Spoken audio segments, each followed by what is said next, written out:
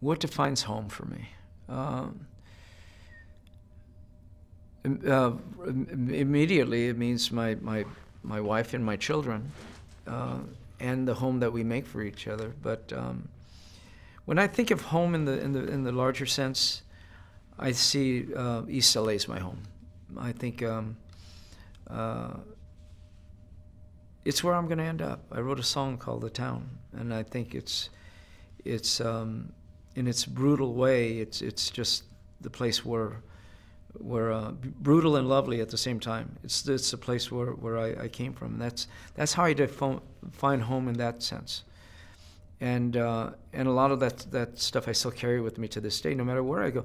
I think a lot of us as as um, maybe it's not it's not um, uh, exclusive to to uh, immigrants. Maybe it's all of us that we're all trying to find our own neighborhood. I certainly have. I've been uh, trying to find some place that really feels like home. But I think when you think of whatever little house that you grew up in, I think of the two palm trees in front of my mom's house. I think of um, the backyard. I think about rocks in the yard that I became familiar with.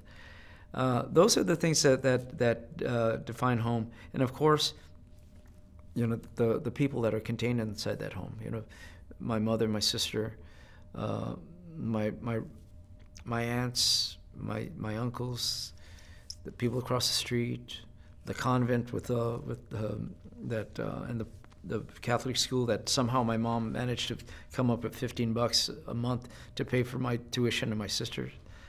I think of all those things, and those things kind of all come together as home. In the more um, um, I don't know if it, mystical, spiritual sense, uh, I, uh, whatever you want to call it. I, I think I think home really is is where um, my my spirit, my my heart resides in in in uh, in, in, those uh, experiences back in East Los Angeles and and um, a, more of a cosmic thing. I'm not going to sit here and, and, and talk about things like that because you know I'm kind of fixed right squarely in reality like like all of us. But but home is a, a combination of, of, of, of, memory and um, and uh, and family.